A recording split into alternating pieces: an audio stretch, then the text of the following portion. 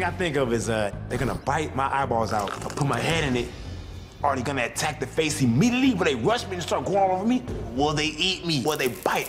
How sharp are the teeth? How long are the teeth? I can't see them, but they must be hungry. Will they go in my brain?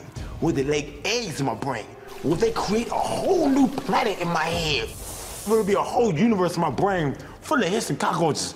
So do you play a lot of PlayStation games? Whoa, yes, I sure have.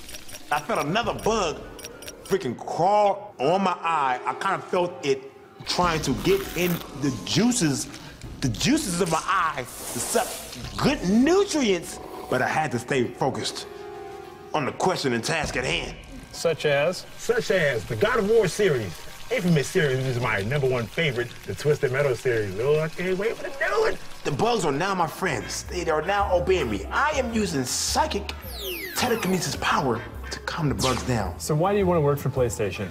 I want to work for PlayStation because I have an imaginary brain, and I feel that it's cool for the world to experience my imagination. I hear Matt hissing, but I zone him out. Do you currently have a job? I am a master barber. I was scared, but I was Beastmaster. Well, thank you very much. We're uh, done with this interview.